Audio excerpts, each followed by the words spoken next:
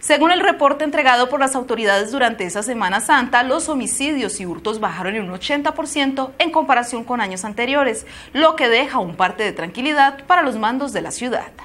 La Semana Santa contó con un balance positivo en este 2015.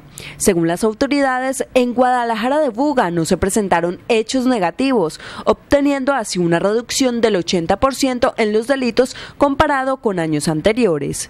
En esta Semana Santa en la ciudad de Buga se contó con el apoyo aéreo de tres helicópteros de la seccional de antinarcóticos y el vehículo Sandcat.